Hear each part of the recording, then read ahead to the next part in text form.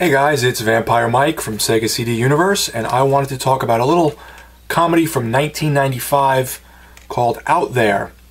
Out There, uh, I knew nothing about this. I, if I'm out in the wild at a thrift store or a flea market and I find something that looks interesting, sometimes I'll look them up. I don't have a VCR any longer, but if I find something that's worth money, I usually pick it up, trade it, or sell it, and buy something I want.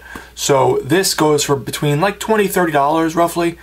My friend Alec from Staunch TV said he was interested in it after I had posted it on Facebook, so I'm holding it for him. But I did end up watching the movie on, I think it was on YouTube, I want to say.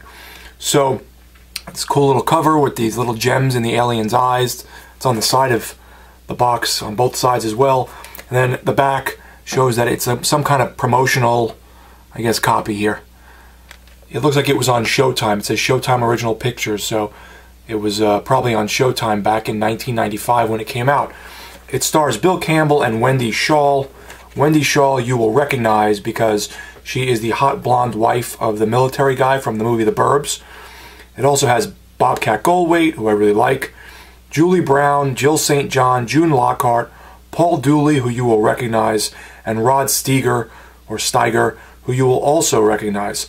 So, out there is a little fun 1995 made for TV movie comedy. And the main point of the story is Bill Campbell is a, um, I think he's a news, uh, a journalist, and he gets let go of his job. And he's at a garage sale, and he finds this kind of hillbilly guy selling antique cameras. And or maybe he maybe he's a photographer for for the newspaper whatever the case is he's into cameras and he finds this camera and he purchases it and he develops the film that's inside and there's pictures of aliens. So now he's running around going to newspapers and news outlets to try and show them that aliens exist and he has proof and nobody believes him. They're sort of like making fun of him and whatever. And then he goes and meets uh, wendy Schaal's character and she thinks that her father is in some of the pictures because years ago the father went missing and they become friends and they go on this adventure to try and find if the pictures are real. You know is that the father really in the pictures? And if the aliens are real. There is a pretty cool twist near the end of the movie. And they go on this little adventure together and become close. And it's just a fun film. I think that this movie is definitely ripe for a you know, like Vinegar Syndrome or some kind of Blu-ray release. I could see back in the 90s people probably really finding this fun. And it's got some good humor to it and some good sort of like, not dirty jokes, but you know, there's that little sort of under under the radar kind of humor where they're saying things and it could be kind of like a double entendre where they could be taken both ways.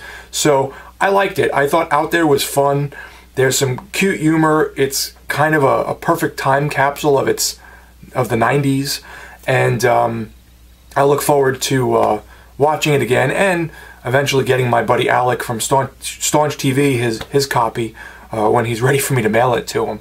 So if you haven't seen Out There, let me know uh, if you guys do watch it what you think. But if you haven't seen it, I would recommend this one as a, a little fun 90s comedy. I thought it was good. So check that out. Thanks guys for watching. It's Vampire Mike from Sega CD Universe. Be good.